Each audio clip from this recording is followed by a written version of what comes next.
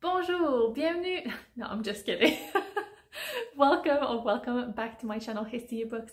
I'm Camila and today we are celebrating the province in Canada that I am from, which is Quebec. I'm doing this right now, it's a bit late, I wanted to publish this ahead of June, but here we are. I'm doing this in sort of response or as a kind of helpful video uh, for a challenge that was set by the lovely Jolene at Bookworm Adventure Girl to read across Canada in 2023. So I think that's an amazing challenge. I haven't, I've been really busy this year, as you may notice from my general absence from the from YouTube and the booktube community, but I you know, I've been looking at it, it's something I want to do more of, and I will hopefully be going to Canada soon and, you know, dive into it a bit more. But in June, Jolene picked the province of Quebec as the kind of theme for the month. So I thought, what better time to highlight, you know, some great suggestions from my home province. And I'm very thankful to Julie for this. Her suggestion for reading from Quebec was to read uh, an author who is French Canadian. And I'm really glad about that because I often see people uh, referring to a certain author, Louise Penny, as the author that they've picked to read from Quebec, which is fair. Obviously, she's based in Quebec and she writes, you know, about a Quebec specific um, investigation. And I know my parents have loved uh, the series and I want to dive in soon. I've actually just started watching the TV show, so again, all very exciting and feel free to read it obviously. But I thought if you want to expand your horizons a little bit, I would give you some suggestions of authors who write primarily in French or in the um, First Nations language uh, from you know different uh, places in the province that is not Quebec. So as I've just said, I think it's really important because while French is a majority language in Quebec, it's a minority language in Canada, so it's really cool to be highlighting that today. And similarly with First Nation Indigenous authors, I think from all over Canada, I think it's really, really important to read their voices. So that's how I'm going to go with this list. All of these titles have been translated into English, that's why I'm making this list, so you can find them. And I'm going to start with seven authors that are French Canadian. And then I'm going to go into seven authors that are kind of First Nations, Indigenous authors based in different regions of what is now Quebec. Some of them have written, you know, in their native language and it's been translated sometimes into French then in English or straight into English. And some of them have written French and then obviously with the English translation. I have two books maybe that were di directly written in English, but they are from First Nation authors who are based in Quebec now. The first book on my list is Man by Kim Thuy. And this is just, I mean, you could try any of her books. I know this one has been translated into English.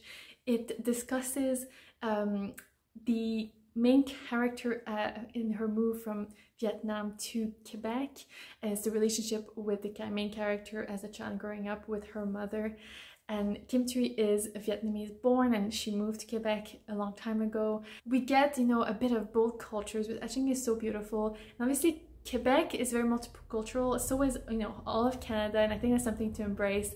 And I think Kim Thuy is an excellent choice to start with if you're looking for a uh, French-speaking authors based in Quebec. Next is an author that I personally am not a super fan of, but it's an author that we read a lot in school and I know it's um, maybe a slightly older generation really really enjoy and embrace because the author is a bit older obviously so it is Michel Tremblay and there was two things that I want to um, recommend. So the first one is the Chronicles of the Plateau, Eh, which is an area of Montreal.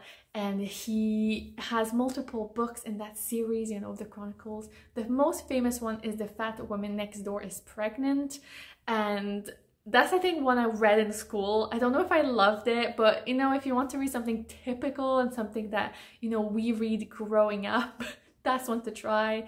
I think Albertine in Five Times is also one that is really impressive. I have not read that one, but I kind of really want to because I think maybe I should give another chance now that I'm a bit older to Michel Tremblay. Next we have The American Fiancée by Eric Dupont.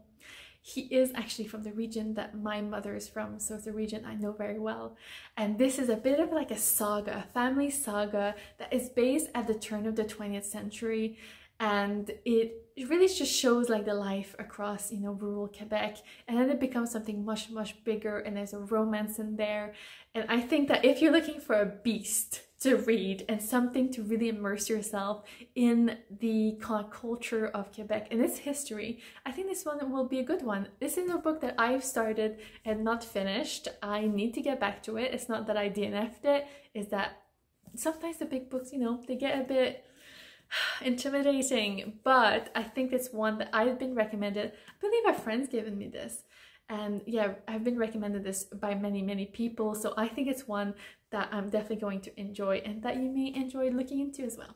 Next we have aurora montrealis this is obviously a play on aurora borealis. This is by monique Proulx.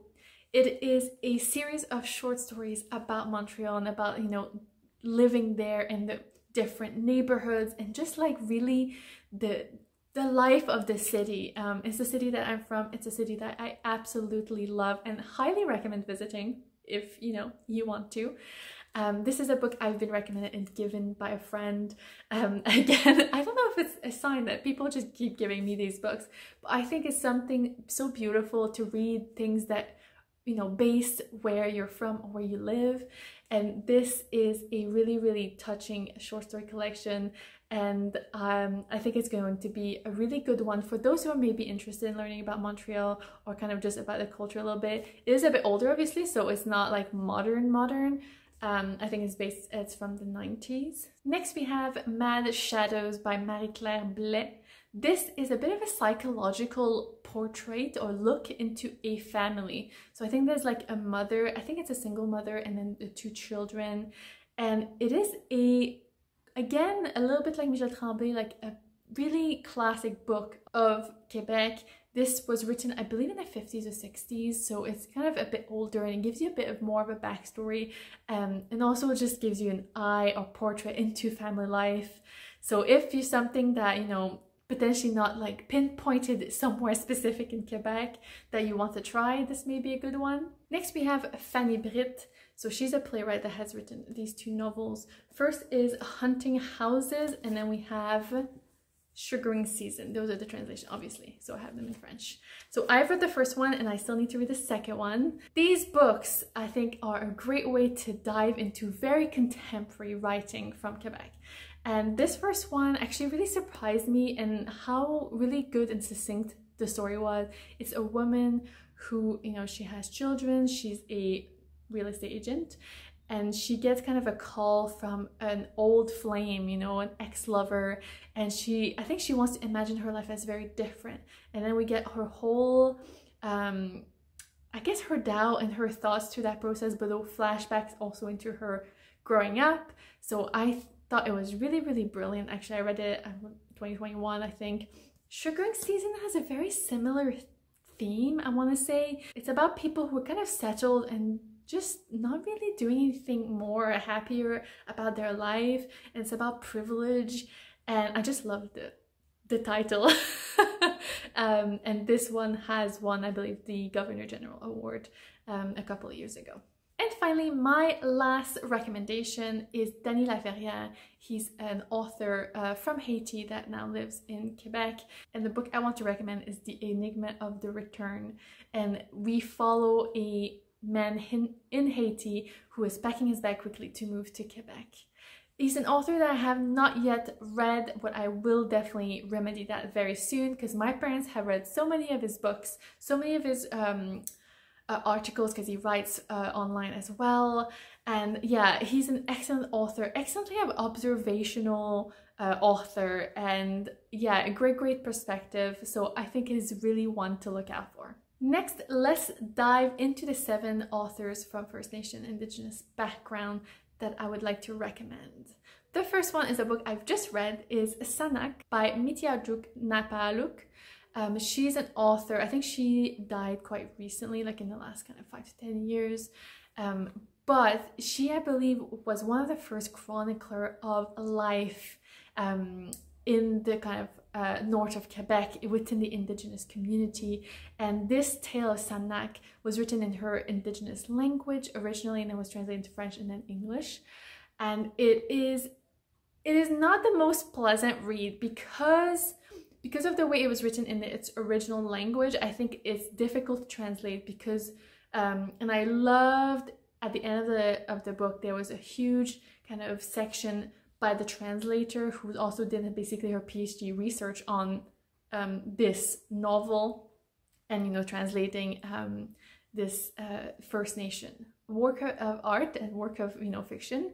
And she talks about how there's a lot of repetition a lot of kind of noise a lot of these things that are used in the original language that make for a slightly bizarre read in French and English but I still think that it's a real wonderful window into the cultural and kind of way of life of these people, especially because it starts a long, long time ago, and we get an idea of like at the beginning of the relationship with uh, the kind of European colonizers um, and the Canadians, you know, at the at that time, and it's very, very, um, I don't know, it just really opened my eyes because they're like little vignettes. Uh, we get an overall story, but really it's just little things like we went hunting or we were making this food or you know the the relationships in terms of she wants to remarry or she had a baby and it's just these different windows into how they live that is absolutely wonderful. Next is A Tea in the Tundra by Joséphine Bacon. Um, Bacon is an author who writes in her Innu language as well as French, so she does a bit of both. I saw an interview with her last year. Um, she was in kind of talk with the National Poet of Scotland, so it was an incredible conversation. I'm really glad that I attended and it really made me curious. I've read some of her poetry, but I've not read Atina Tundra, but it is the work to start with if you want to read her and uh, if you want to read some poetry, I think that's a great place to start. Next, we have another collection of poetry by someone slightly younger. um, so if you want something a bit more millennial, Natasha Kanapé-Fontaine is who you probably want to go with. And her collection, Blueberry and Apricot, has been translated and this can be found online. Um, it is excellent, actually. I really, really loved it. I've discussed it on the channel before, I believe, because I read it in the last two years, and it was so good. And I just love the anger, and I just love the power um, of her messaging and of her imagery that she uses. So I thought it was a must read, um, especially if you're from Canada, really, because it has to do with how um, Native people were treated in Canada, and it's something to be uh, aware of. Next is Kukum by Michel Jean. I've just discussed this because it's on my list to read this month and I've just started and it's really, really good. This is the story of a young woman who falls in love with an Innu man and decides um, to pursue that relationship and to kind of go and live with that community and they kind of embrace her and you know despite the cultural differences it's like this beautiful story and trying to break kind of boundaries and yeah i'm really excited to read more about it but i think it's one of like the must read if you want to read something by an indigenous author from quebec if you'd like to read a range of different voices from the Indigenous community, another book you could read is Amun, A Gathering of Indigenous Stories. So it's a collection by a bunch of different authors and it was edited by Michel Jean. And finally, we have the two English books. The first is Crow Winter by Karen McBride. This is a book that recounts the story of a young woman who returns home after graduating and she kind of is visited by this crow who uh, is telling her that he's gonna save her, he's there for her. And she's also dealing with like the grief with having lost her father. Uh, it looks really interesting actually and I was really glad to have found it in my research for this um, video, so one to look into for sure. And finally, we have nonfiction. It is The Right to Be Cold by Sheila Watt Cloutier. This is a kind of a cry for help. This is a woman's journey into trying to save um, her culture, her community, the Arctic, and the planet. I think that's kind of part of the subtitle of this book. And, you know, I think it deals really well at the moment. You know, climate change is so, so very real. And obviously at the moment it's currently impacting Quebec with these massive wildfires that are now impacting the rest of Canada and also heading down to the US. Uh, if you've seen some of the images. It's one I'm going to be looking at really soon because I think it's just so, so important to be listening to these voices as well. Uh, people who have been living there far longer than we have um, and who clearly want to save that land way more than we have been trying to, let's be honest. So I think a really, really important read. And that was it for me. Um, this was my list of recommendation. Let me know if you have more. What are you reading this June for the challenge? Let me know. I'm very excited to see, you know, what everyone uh, has decided to read and you know what if potentially they've discovered that I maybe don't know about and I'm always in for recommendation actually every time I go home as you may have noticed from all the books that I've been thankfully donated to me that I'm always looking for suggestions of books that are based in Quebec or from uh, authors who are based there. So yeah very exciting. As always thank you so much for watching and hasty back. Bye